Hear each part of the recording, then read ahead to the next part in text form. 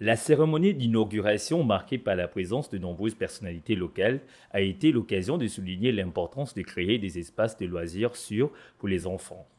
Monsieur le maire, c'est après beaucoup d'efforts et avec beaucoup de satisfaction que Move Africa Gabon Télécom vous livre cette magnifique aire de jeu qui viendra embellir la déjà très belle façade du bord de mer. Comme je ne doute pas que le partenariat entre Move Africa et l'hôtel de ville exemple de partenariat public-privé réussi en faveur du développement durable de notre belle cité, laissant encore présager de belles perspectives pour le plus grand bénéfice des habitants de Libreville.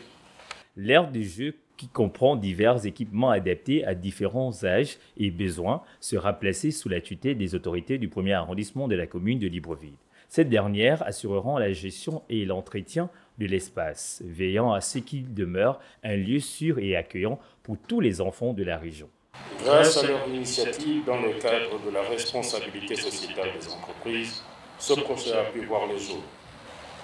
Leur soutien et leur euh, investissement montrent leur engagement envers le bien-être de notre communauté et particulièrement envers nos enfants, ce qui fait d'elle tout naturellement l'une des entreprises qui jouent les premiers rôles dans la cité.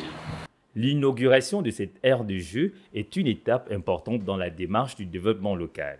Elle s'inscrit dans une vision plus large de faire de Libreville une ville où il fait bon vivre, où chaque citoyen peut trouver sa place et s'épanouir pleinement, surtout en cette période des vacances qui tire vers sa fin.